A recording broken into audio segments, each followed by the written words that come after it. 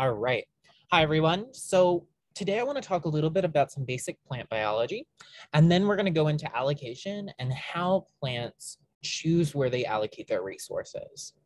So I want to start with photosynthesis. Photosynthesis is our process by which we take water and carbon dioxide, add light energy, and create sugars in the form of glucose. So these are our carbohydrates. And as a byproduct, we also produce oxygen gas.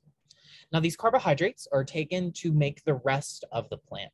And so, with the addition of some nutrients, we can make more complex carbohydrates, make proteins, make lipids, and make nucleic acids. Now, these four, this group, these four groupings are what we call macromolecules, are four classes of micromolecules. And we use these resources for all sorts of things. There's so many uses within a plant. So we could allocate some to microbes and symbionts in the soil. So these are the fungi, the bacteria living in the soil on the plant roots. We might allocate towards respiration. Plants have to breathe as well. Plants have to defend themselves against attacks. So we have tons of different insects that attack plants. Um, we have animals that graze against plants. And so plants produce all sorts of defenses uh, to prevent that. And so plants also have to grow that takes resources. Some plant uh, plants also store a lot of resources for times of need.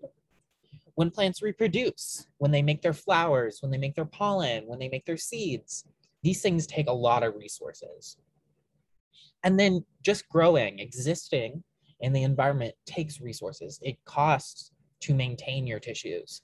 And so how plants allocate these resources among these different uses is really unclear. And so how do plants create such a budget? How do plants know to think about all of these different things?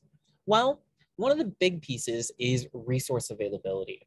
Resource availability and where the plant takes up its nutrients is key to how they are going to allocate nutrients. So if we're looking at this plant right here, this little cartoon, we're going to think about a few different things. First, we have light coming in at the leaves from the sun. So this is critical for photosynthesis and making all of our um, all of the resources we need for plants to function. We also have carbon dioxide getting taken up by the leaves. So carbon dioxide enters the plant through the little stomatas. Uh, stomata are the holes on the leaves. And so this is also critical for photosynthesis. And then in the roots, we take up our water and we take up our nutrients. So the nutrients we primarily think of are nitrogen, phosphorus, and potassium, although there are lots of other micronutrients which we need in much smaller amounts. So these are things like calcium or boron or iron. Now, the critical place here is how resource availability is going to govern these allocation patterns. And so here I've drawn just a little plant with some green leaves, a brown stem, and some blue roots this is a normal healthy plant, or at least that's what we're calling it here. And so we can kind of think about this plant as allocating in a standard normal way. So this is what it would look like if there were no other stresses.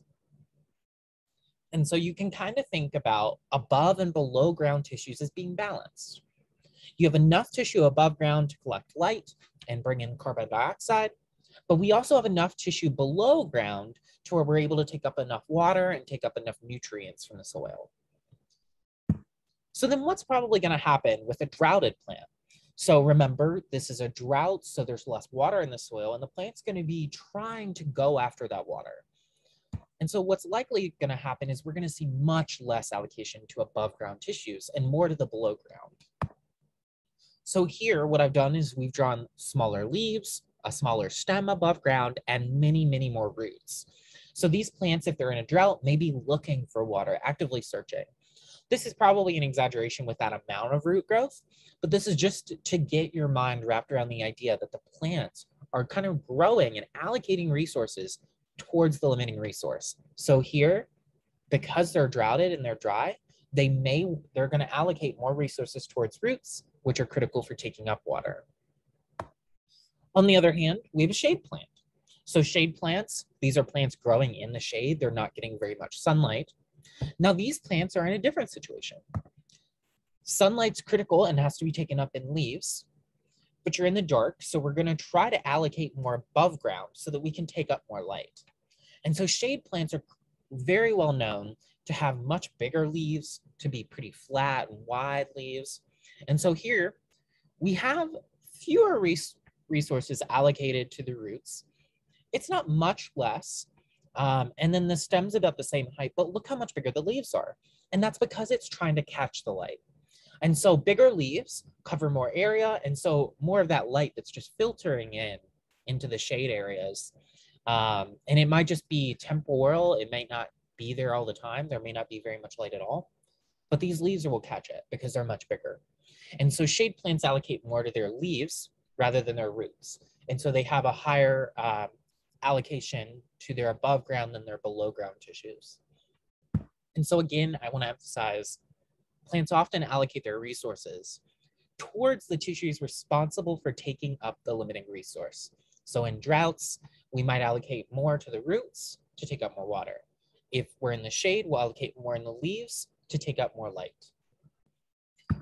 So for your research here at Governor School, I want you to kind of think about how these principles are influencing your results.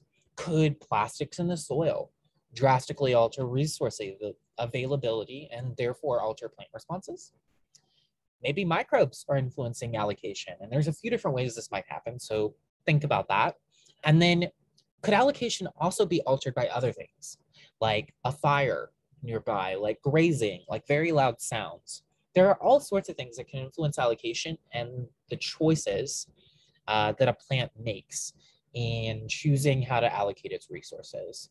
So we'll chat more about this in person and in our meetings, uh, but please do let me know if you have any questions about the basic plant bio we talked about today and resource allocation. Thanks.